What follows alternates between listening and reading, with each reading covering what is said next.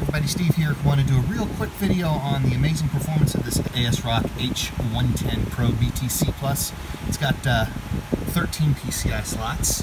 Uh, I have 12 of them plugged in now. And if you're wondering why I don't have 13, it's actually because I ran out of power cables. So uh, here are the first eight right there. There's eight. And then over there on the other one, there's five, but only four of them are lit up and fired up. Eight of them are being powered by this uh, 1600 watt power supply right here, and the rest of them are being powered by this 1200 watt power supply. So for the one that's powering eight, we're at uh, 1176 watts, and we're at 9.58 amps. So now this uh, outlet, actually all my outlets up here are uh, 20 amp dedicated. So uh, it's good to 2200 watts and uh, obviously 20 amps.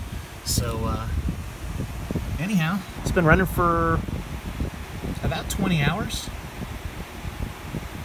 and everything's staying nice and cool. But as you can see, we're hashing at, if you can read that, 338.922 is the one that I'm seeing.